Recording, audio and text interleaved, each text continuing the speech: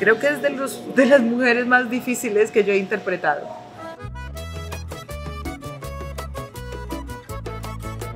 Yo interpreto a Nacha Durán, la mamá de Leandro Díaz, junto con cuatro hijos más. Bueno, en realidad en la historia termino teniendo seis hijos, una familia muy humilde de La Guajira, que tiene como primogénito Onofre, porque Nacha ya tiene hijos anteriormente, a un hijo vidente, que casi abandonan dentro de la casa por razones muy extrañas, más allá de que ella no ejerza su papel como madre, creo que ejerce un papel a distancia de cuidado, como cuidarlo de reojo para que Onofre no lo vea y el niño se siente completamente abandonado, lo cual eso va haciendo mucho, se vuelve como, como una bola muy grande en el alma de Nacha, una mujer que ha agachado la cabeza, que ha vivido siempre con la cabeza abajo, pero que tiene mucha fortaleza. Creo que es de las mujeres más difíciles que yo he interpretado.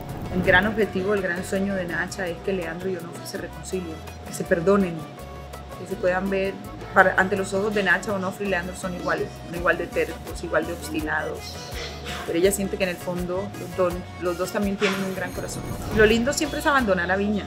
Cada vez que entro en un personaje es muy lindo abandonar a Viña y poder sumergirme en un océano tan grande como lo es Nacha o como lo es cada una de las mujeres que he interpretado. Entre más lejos esté de mí, más cercana estoy a mi personaje. He visto muchas Nachas a lo largo de mi vida, porque mi familia es de este lado, mi familia es cesarense. Y cuando vinimos a hacer la primera semana vi muchas Nachas en las ventanas de las casas, vi muchas mujeres envejecidas, sumisas, esperando.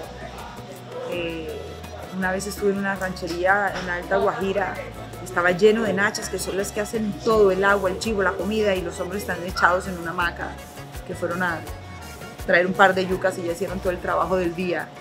Y con eso tienen, mientras ellas están literalmente volteando todo el día, 24/7 sin parar. Hay una lectura por libreto que, que parece ser un rechazo de la madre hacia el hijo, pero es imposible para mí. Primero porque yo soy mamá y he buscado, uno no justifica nunca el personaje, pero sí he buscado la manera de que el, espectador, incluso mis compañeros, vea que Nacha no abandona nunca a Leandro. Imposible que Nacha haga caso omiso de Leandro porque es su hijo y es su hijo con una capacidad distinta.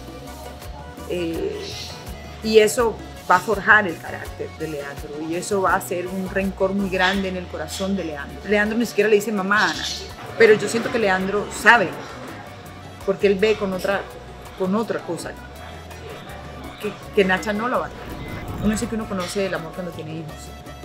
Entonces las personas que no tienen hijos no conocen el amor, conocen un amor distinto. Pero hay una cosa mágica, misteriosa cuando estás embarazada y es que tú amas al ser que tienes en la barriga y ni siquiera lo has visto. Creo que esa es, la realidad de todo.